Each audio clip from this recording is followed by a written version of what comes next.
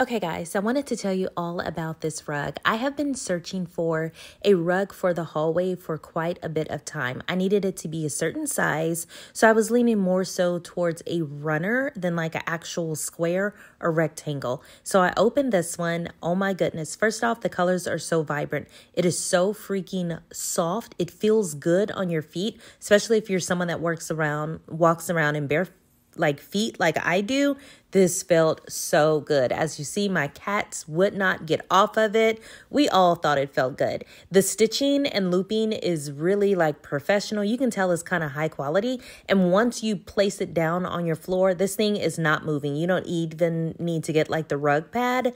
This thing just stays where it is. The stitching is perfect. It's absolutely beautiful. And that's how it looks.